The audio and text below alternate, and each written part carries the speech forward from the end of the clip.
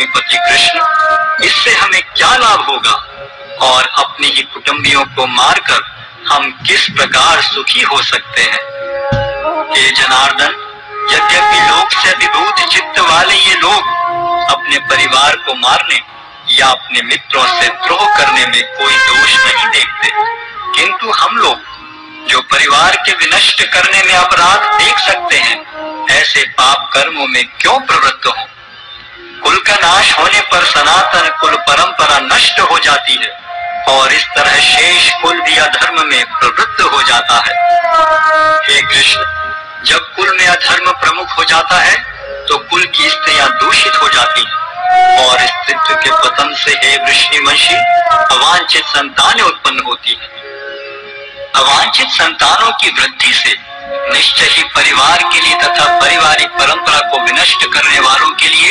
नारकीय जीवन उत्पन्न होता है।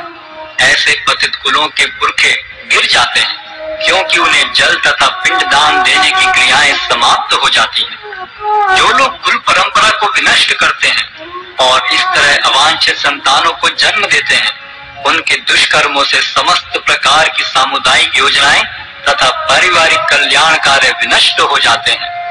ये प्रजापालक कृष्ण।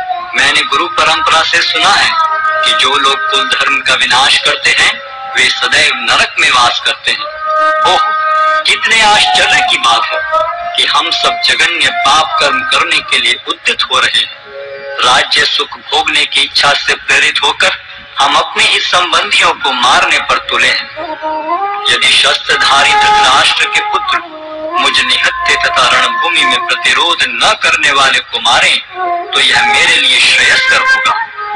संजय ने कहा, युद्ध भूमि में इस प्रकार कहकर अर्जुन ने अपना धनुष तथा बाण एक और रख दिया और शोक संतप्त चित्त से रथ के आसन पर बैठ गया।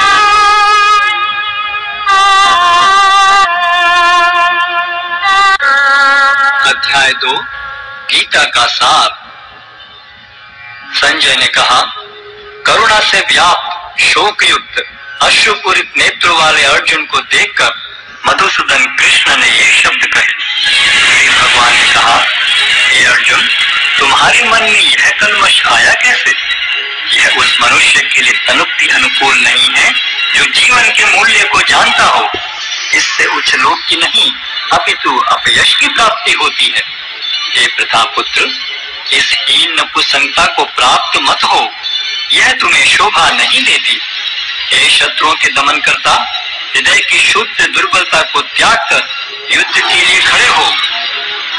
अर्जुन ने कहा, हे शत्रुहंता हे मधुसूदन, मैं युद्ध भूमि में किस तरह भीष्म तथा द्रोण जैसे पूजनीय व्यक्तियों पर उलटकर बाण चलाऊँगा ऐसे महापुरुषों को जो मेरे गुरु हैं उन्हें मारकर जीने की अपेक्षा इस संसार में भीख मांग कर खाना अच्छा है।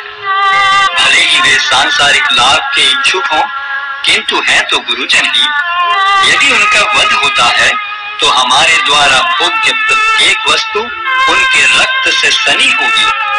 हम यह भी नहीं जानते कि हमारे लिए क्या श्रेष्ठ है, उनको जीतना या उनके द्वारा जीते जाना। यदि हम धृतराष्ट्र के पुत्रों का वध